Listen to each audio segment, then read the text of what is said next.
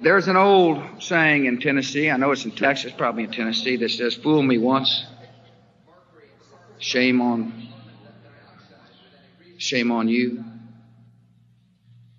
If fool me, we can't get fooled again.